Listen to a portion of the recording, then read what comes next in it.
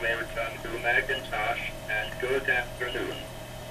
It's Monday, the 26th of March, 2018 at 2.13 p.m. Let's go.